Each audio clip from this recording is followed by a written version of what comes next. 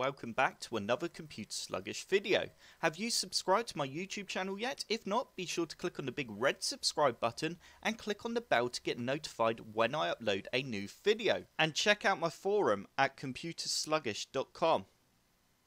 In today's video, I will be showing you how to install the Realtek high definition audio drivers on your Windows 10 PC or laptop. To start off with, first you need to click on the link that's in the description below and you will end up on a page that looks like this. You now need to scroll down until we find Windows. And you now need to select your version of Windows. I have a 64-bit version of Windows 10, which means I need to click this link here. You now need to agree to the terms and conditions and once you have you can go ahead and press I accept and you now need to type in your email address and this is where they will send a link to the email so you can download the Realtek audio driver. Once you have typed in your email you can go ahead and press download this file. We now need to press save file. Once file has finished downloading we now need to run this setup file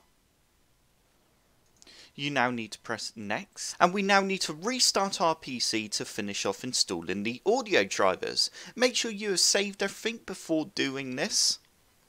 Once you have restarted your PC, if you now click on the speaker icon in the bottom right hand corner of your screen, you will notice your speakers will now say Realtek High Definition Audio, which means the drivers have been installed successfully.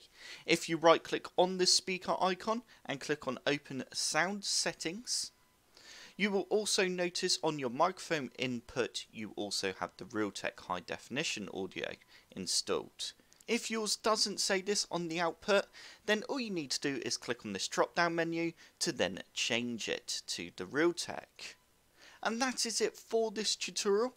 I hope this video did help. If it did, hit the like button below and subscribe for more computer sluggish tutorials. Don't forget to check out my social media channels and forum.